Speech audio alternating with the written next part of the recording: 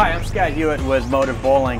One thing that we really wanted to do is put together a video that showed the difference in performance on a ball that has been oil soaked and a ball that is new out of the box. And the reason we wanted to do this is because we've had so many bowlers and pro shops come to us and say, you guys have to get the word out on the longevity of your cover stocks.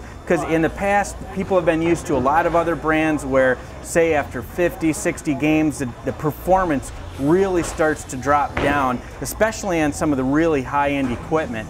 And what we've been hearing is that a lot of people are telling us they're getting 150 games or more on their MOTIV equipment before it really starts to see a significant difference in performance.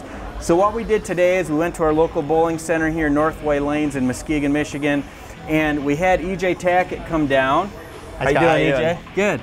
And EJ is going to throw two different jackals. The jackal is our highest end ball. It's a big hook and ball, and it's built for heavy oil. So we took one ball, soaked it in oil for an hour, and we took another ball fresh out of the box, and we're gonna have EJ throw these balls and then talk to him afterwards and see what he thinks.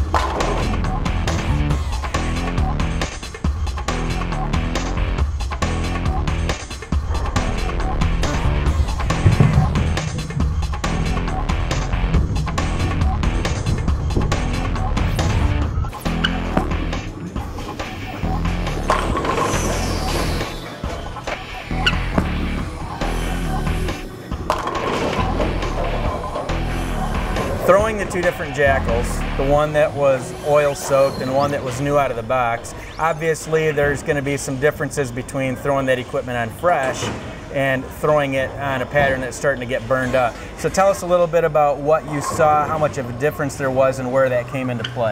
Um, I noticed on the on fresh, um, I didn't really see much difference between the two bowling balls. Um, the new one read a little bit earlier. Um, the oil soaked one a little bit longer just because it had a little bit of oil in it and it didn't grab the lane as quick. Um, when they got burned up a little bit, uh, I noticed that the new one really read the lane really early and um, ended up hooking about two boards more than the oil soaked one. Um, the advantage of the oil soaked one in that situation is it doesn't read the lane as early, so that way you can kind of keep your line a little bit tighter and um, it gets down the lane a little bit more and actually becomes a little bit more responsive um, to the friction um, because it's not reading so early.